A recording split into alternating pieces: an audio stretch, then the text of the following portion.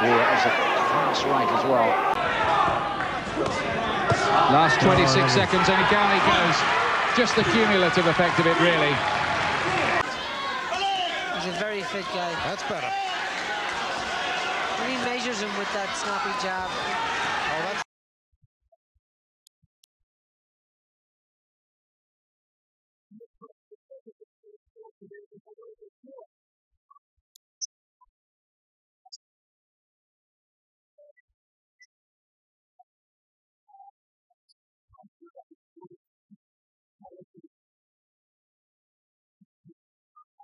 The minds of the selectors themselves.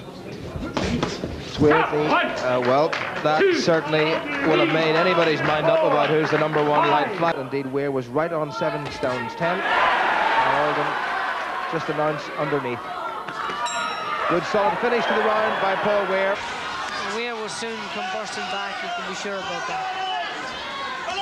He's a very fit guy. that's better.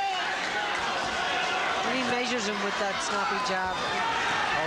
Looks, doesn't look very dangerous. No, it dangerous. doesn't look too bad at all. Still, you can see the way he sparked into action. Weir in boxing the head off this guy. It was very low from Weir.